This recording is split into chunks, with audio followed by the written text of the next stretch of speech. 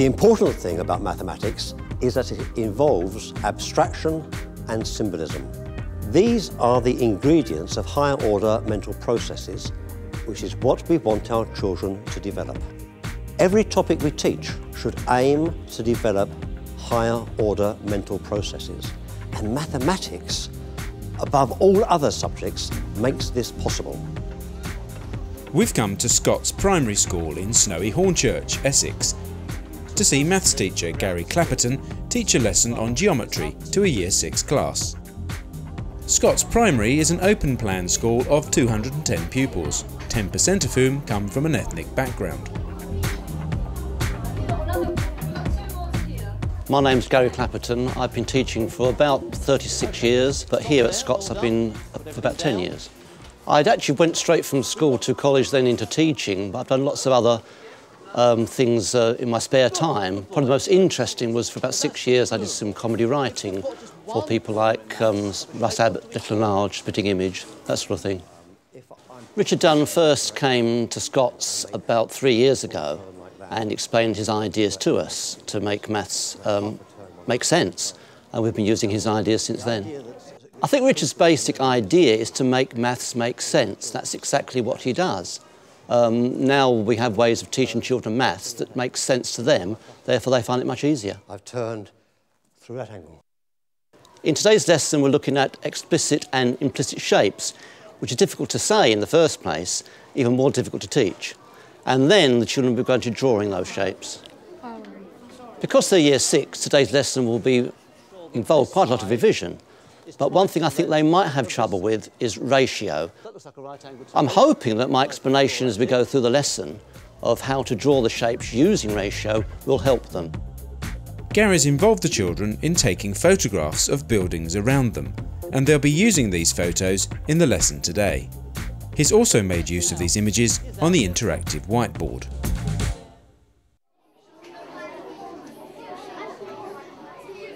What do we call the corners of shapes? Jack? Vertices. Good, good boy, vertices. But that's the plural. If we've got just one corner in maths of a shape, what do we call it? Stanislav? Vertex. Very good. So we've got the shape with four vertices but I'm going to label these vertices. Remember, we must always label with capital letters. It doesn't matter where we start. I could start halfway through the alphabet. But in this case, I'm going to label the first one A, so it's A, B, C, D. So this shape, A, B, C, D, what can you tell me about it? Philip? It's a rectangle. Good, a rectangle. What I want you to do on your photo is to draw the polygon I've drawn on the board and label it as I have labelled it, but then find some other explicit polygons on the photo, draw them and label them. I'll give you a few moments to do that. Off you go. By using the children's photographs, Gary's hoping to raise their awareness of the shapes around them and give the class a sense of ownership of the lesson.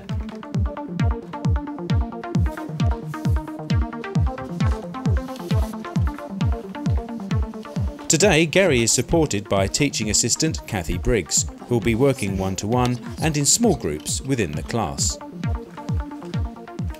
Okay, yes, six. Stop there. Well done. Put everything down. We want to see what shapes you found on your photo. Who would like to come and show us on the whiteboard an explicit shape? Here, Michael. Show us your shape.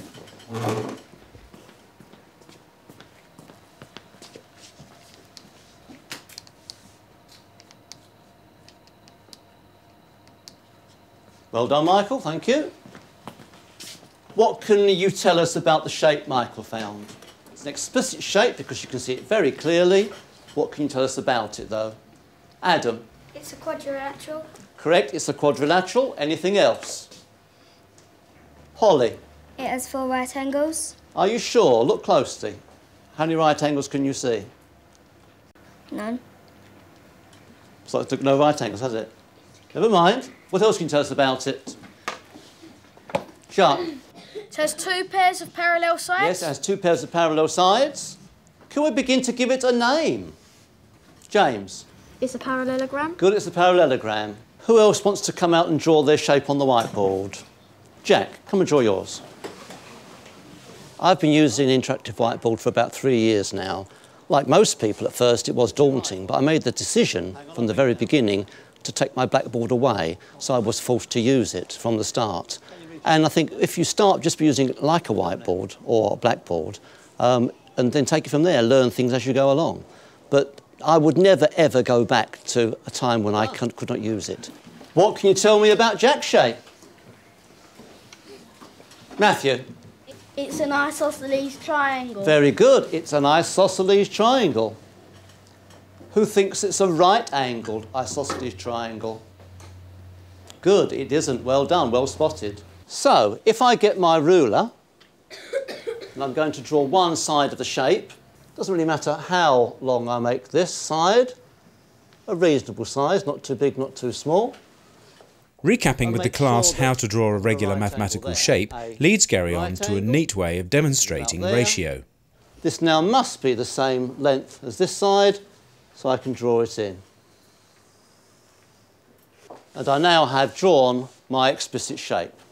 And it doesn't really matter what I do to this shape if I move it around. The angles are still right angles. The sides are still the same ratio. I can turn the shape and it's still the same.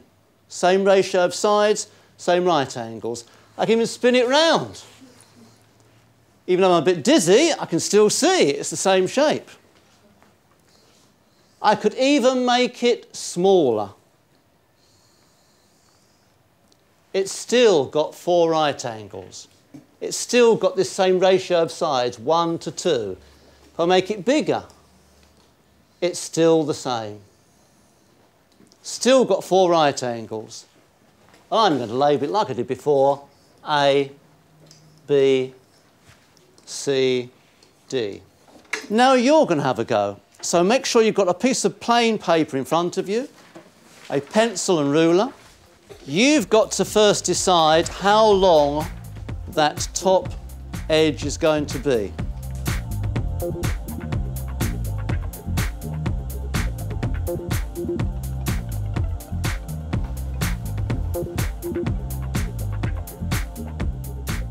All done? Good.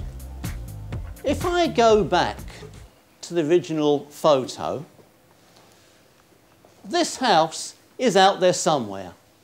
It's there in real life. And we call the actual house, or even a photo of it, the real life story. And on that house, it does have these explicit shapes, which we can see. They're real. So we call any of these shapes we can see the real story. However, once we start drawing these shapes like this and labelling them like this, it's no longer a window of a house. It's a rectangle, ABCD, or quadrilateral, ABCD. So this is called the math story. Let's go back to the picture and look at Jack's shape, which he drew. Roughly, what would you say that angle is there?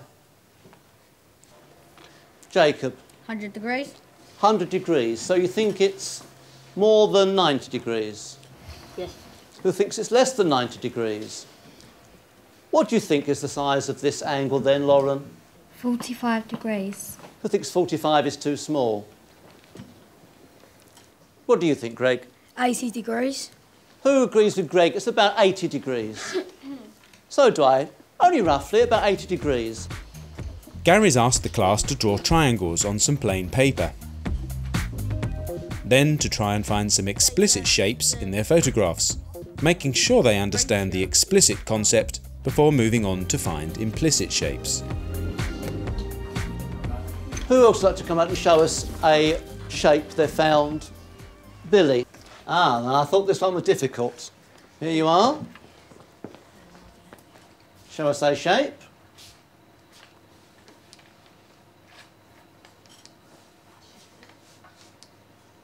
Good.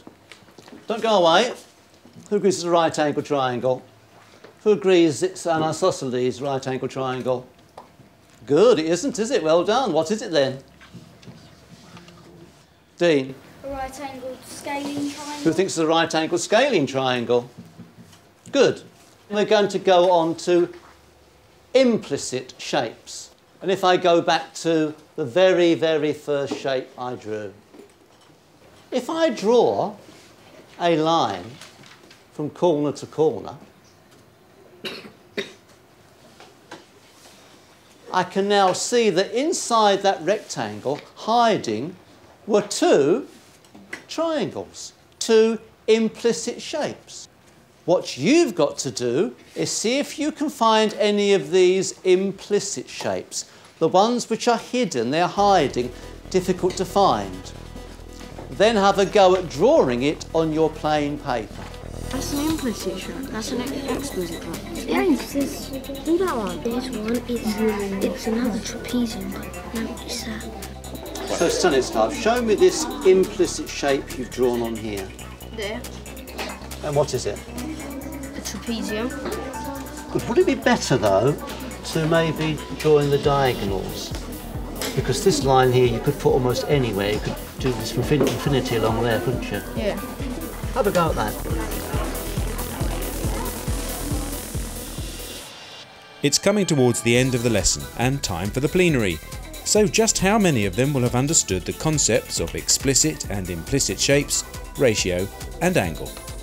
Who did manage to find one implicit shape? Let's just check though. What is an explicit shape?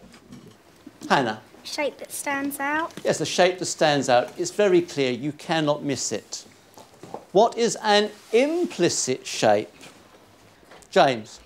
It's a shape that's hard to see or It's- doesn't stand out as much. Yes, it's hard to see, it doesn't stand out so much. It's usually hidden amongst the other shapes.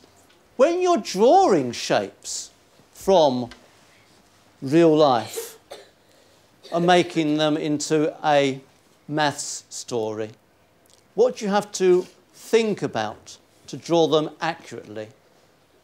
The ratio of the sides. Good, the ratio of the sides. What else have you got to look at? Matthew? The angles. Yes, good. You've got to estimate the angles. Well done, Year 6. We're at the end of the lesson and you've done really well on what's actually quite a difficult concept. My favourite bit about the lesson was drawing on the pictures. An explicit shape is like showing out to you, but an implicit is harder to find. Math story is talking about the shapes that are in the picture. And the real life story is the actual picture. On the whole, I was very pleased with how the lesson went. I was worried at the beginning about the ratio aspect, but I think they took that on board very, very well, much better than I thought they would. If I look back at the learning objective, which was to identify explicit and implicit shapes, I think on the whole, they did do that very well.